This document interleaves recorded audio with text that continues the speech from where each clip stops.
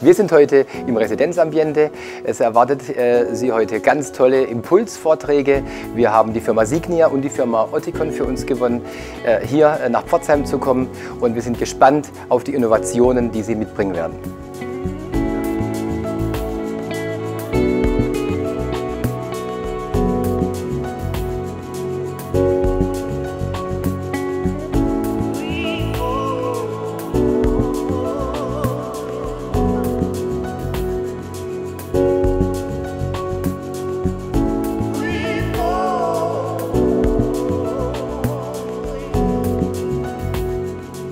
Also Firma Oticon.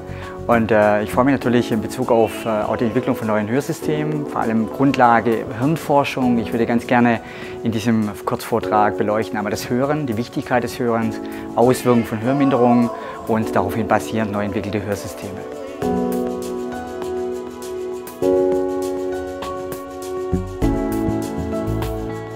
Ja, bei uns geht es heute, ähm, bei uns von der Firma Signia geht es heute um das Thema ähm, vom Stigma zum Statement. Also wie können wir mit heutigen Technologien, die wir heute, heute entwickeln für Ihre Kunden, wie können wir diese Bilder aufbrechen, die die Leute im Kopf haben und wirklich zu zeigen, ein Hörsystem ist mehr als das, was man früher kannte und welche Techniken haben wir heute zur Verfügung, um die Leute wirklich auch dahin zu begeistern, ein Hörsystem zu tragen und auch mit einem gewissen Stolz dann auch zu zeigen.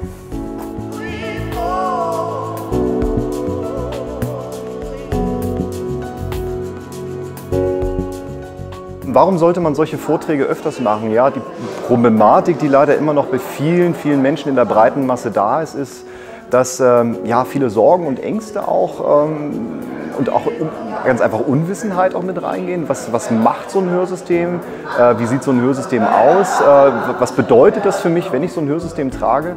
Und was wir mit solchen Vorträgen einfach erreichen, ist, dass wir da ja, Ängste nehmen, äh, die Leuten einfach zeigen, was moderne Hörsysteme dann auch können, dass man damit wirklich zu diesem, diesem Thema Stigma, was man mit dem Hörgerät ja auch verbindet, wirklich zu einer Art Statement vielleicht auch gehen kann, dass die Leute das ja mit einem gewissen mit einer gewissen Sicherheit überhaupt an die Sache erstmal rangehen können ähm, und im zweiten Schritt dann auch, wenn sie ein Hörsystem haben, noch mit einem gewissen Stolz das auch zeigen können und äh, vor allem dann auch ähm, ja, in ihren Familienkreisen und Freundeskreisen äh, dann auch selbstbewusst zeigen können. Das ist die Wichtigkeit von solchen Vorträgen und auch äh, von den Sachen, die der Herr Böhm dann ja auch mitgibt den Menschen.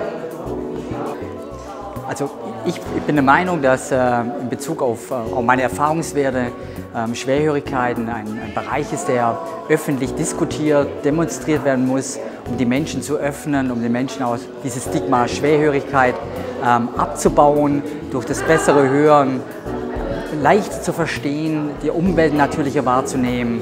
Und ganz besonders im Bereich des Sinnesorgans ist ein besonders wichtiger Aspekt, eben auf Öffentlichkeitsarbeit und Aufklärung zu betreiben.